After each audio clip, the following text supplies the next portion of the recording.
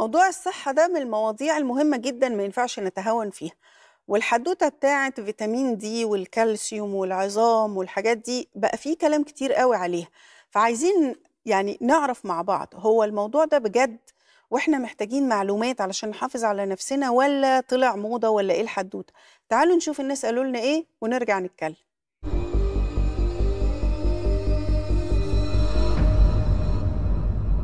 هو إحنا عارفين ان فيتامين د أصلا لما بيقل في الجسم أصلا بيبقى ليه آه، اثار سلبية. آه، منها انه مثلا بيبقى فيه اكتئاب بيبقى فيه آه، عظم البني آدم بيبقى أو الانسان بيبقى وجعه أكتر حاجة. فلا أنا شايفة انه فعلا في اعراض سلبية بتحصل بسبب نقص فيتامين د. والله غالبا ممكن يبقى موضة طبية لأن أنا شخصيا أنا ما يعني ما, بشتكيش من من نقص في فيتامين د.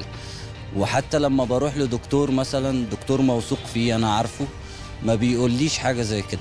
لا هي مش موضة طبية هو حقيقي لأن الطفل عامة محتاج إن هو يلعب ويتعرض للشمس كتير و- ولازم نهتم فيه في المراحل الأولية في من عمره. تمام؟ لأن دوت تبقى أساس لل- للطفل. لا مش موضة ما ما أظنش في ده يعني أو ما أظنش كتير هيتاجروا بالمرض يعني. في بس مش مش الأغلب الأغلب أحسن يعني الأغلب كويس. الكلام عن فيتامين د الحقيقي آه طبعا لأن الناس ما بتتعرضش للشمس زي الأول.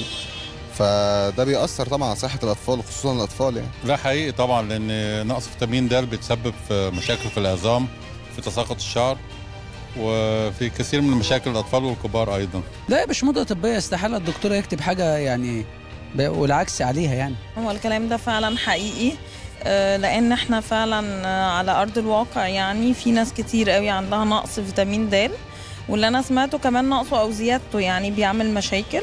أنا شايفة إن أهم مصدر لفيتامين د ان إن الناس آه، تبقى مهتمة شوية إن هي تبقى بتتشمس أو تقعد فترة أطول في الشمس.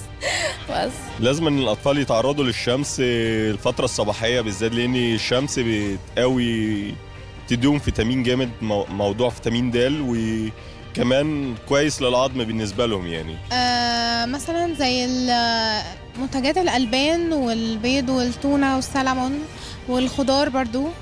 يعني كل الأكل ال healthy الشمس أكيد يعني. الشمس؟ الشمس طبعا. هو رقم واحد الشمس وفي أطعمة بعض الأطعمة والخضروات طبعا آه، غنية بالفيتامين. آه، أشعة شمس آه البقوليات. الشمس طبعا. ودلوقتي كمان بدأوا آه، يدوا للأطفال من أول ما يتولدوا آه، يركزوا قوي على فيتامين د آه، في نقط وأدوية كتير قوي يعني. تعد الشمس أهم مصدر لفيتامين د. قضية الصحة تحتاج بالدرجة الأولى التركيز في الرعاية والاهتمام.